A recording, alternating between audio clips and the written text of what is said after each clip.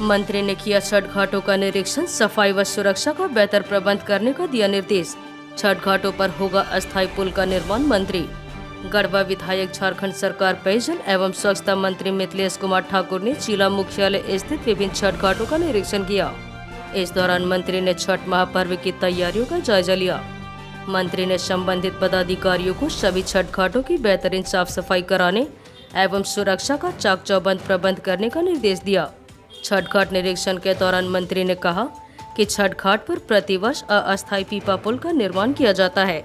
यहाँ अब अस्थायी रूप से पुल फुट ओवर ब्रिज का निर्माण कराने का प्रयास करेंगे ताकि छठ व्रतियों को सुविधा हो।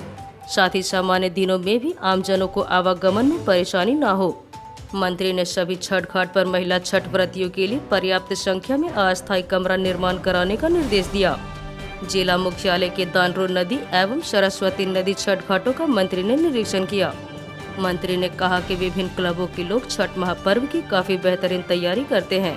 सभी क्लब के लोग धन्यवाद के पात्र हैं। उन्होंने ज़िले के प्रशासनिक पदाधिकारियों को छठ महापर्व बेहतर तरीके से संपन्न कराने में सहयोग करने का निर्देश दिया। मौके पर नगर परिषद के कार्यपालक पदाधिकारी संजय कुमार पांडे, एसडीओ राज महेश्वरम एसडीपीओ अवध कुमार यादव आदि पदाधिकारियों सहित कई अन्य लोग उपस्थित थे। खबरें और महत्वपूर्ण जानकारी के लिए कड़वा दृष्टि यूट्यूब चैनल को सब्सक्राइब करें।